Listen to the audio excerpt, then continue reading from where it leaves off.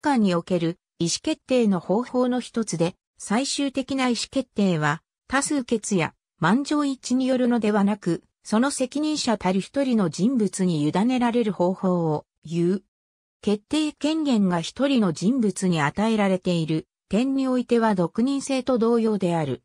律令制度の下でしばしば行われた方法であり、近代以前の日本の政治意思決定方法の原則的手法であった。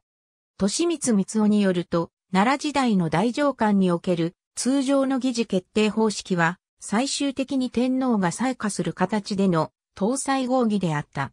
平安時代の朝廷の会議を例にとれば、合議の参加者がそれぞれお互いの意見を出して議論を行って、その後に採決を取る。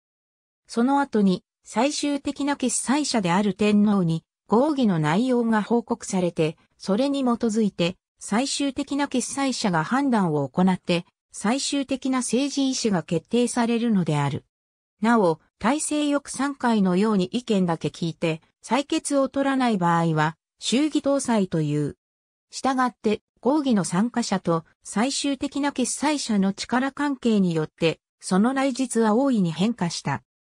原則的には合議制と同様に合議の結果が尊重されるのが望ましいと考えられ、大抵の場合はそれに基づいた決裁が行われる場合が多かったが、決裁者が絶対的あるいはそれに近い権力を保有していた場合には、独任制あるいは独裁制と変わらなくなる場合があった。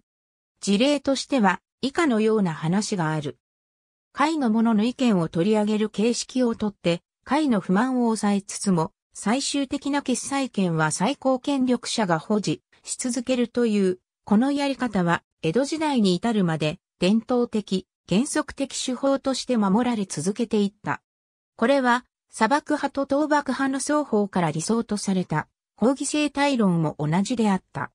そして、明治憲法下も、立法天皇の決裁や、御前会議などにおいてはこの方式が維持されていったので、ある。